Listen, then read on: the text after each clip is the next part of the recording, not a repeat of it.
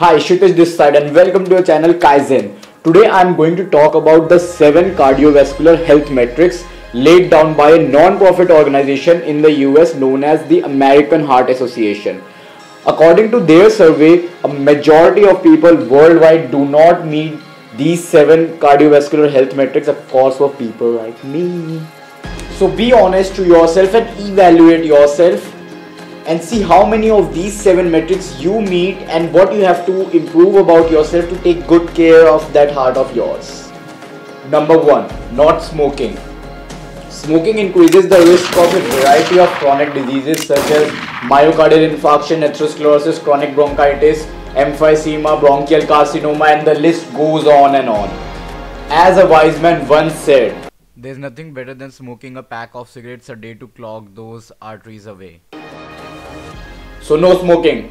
If you do not smoke, you meet the first metric. Well and good. And if you do smoke, please continue. You might not see the effects right now, but in 10 to 20 years or maybe just 5 years, you will seek medical help and it's good for the earnings of doctors like me.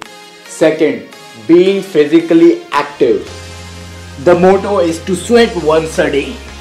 If you match this metric, then my friend, you are on the highway to a healthy life. Yeah.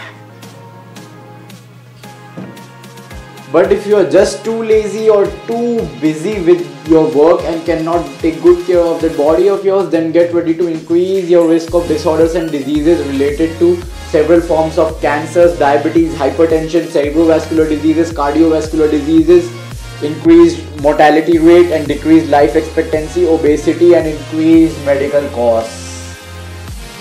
What, what, what did you say? All of these can be prevented by exercising regularly. Yes, science! Bitch!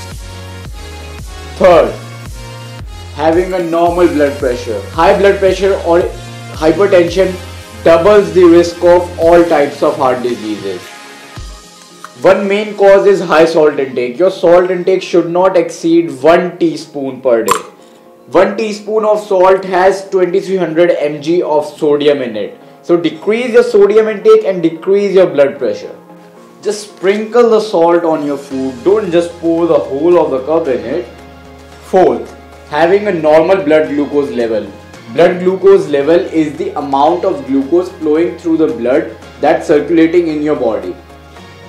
Hyperglycemia or increased blood glucose level causes many of the long-term diseases such as heart diseases, eye, kidney and nerve damage. The most common cause of hyperglycemia is diabetes due to obesity. If blood sugar levels or glucose levels too too low, a condition known as hypoglycemia develops. The most common symptom being loss of consciousness and weakness. Most common cause of hypoglycemia is irregular meal timings. So to prevent hypoglycemia or hyperglycemia, eat frequently and eat right. Fifth, having normal total cholesterol. Dyslipidemia is the abnormal amount of lipids or fats or cholesterol in the blood. Most often there is hyperlipidemia or hypercholesterolemia which means elevation of cholesterol or fats or lipids in the blood. This again depends upon the lifestyle and diet of the person. High cholesterol increases the risk of myocardial infarction or heart attack due to atherosclerosis that is clogging of the arteries. A diet high in polyunsaturated fatty acids and omega fatty acids decreases the risk of heart attack and other cardiovascular diseases whereas a diet rich in saturated fats and increase in total number of calories from carbohydrate fats proteins alcohol sweets have adverse effects on the heart health sixth is being at your ideal weight. Ideal weight varies from person to person. It basically depends upon the age sex and height of the person. You can calculate your ideal weight online by using any of the biometric calculators. Being in that range of the ideal weight prevents obesity and diabetes related diseases. Seventh metric eating a healthy diet if you match any of the previous five metrics, then you match this one also. So eat a healthy diet to live a healthy life.